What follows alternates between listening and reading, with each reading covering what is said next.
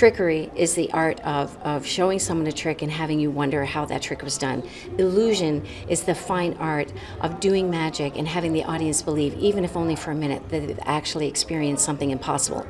It's called State of Mind, a show that involves mystery, music, and illusions right here at Casa Loma.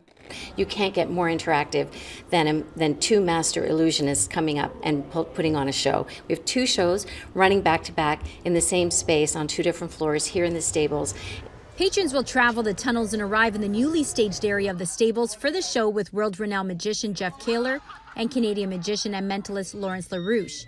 We caught up with Jeff Kahler and he showed us a few of his tricks just kind of wave. You're going to see them start to twirl together a little bit. Oh, yeah. Wait. That was so odd. How'd you do that? I've been doing magic since I was about six years old. I think I love the way people light up when they experience magic. And I think it's a way, uh, when people react to magic, it's a way they react only like once or twice in their life. I love creating that for people. I always tell people that my show is like watching five shows worth of magic in one.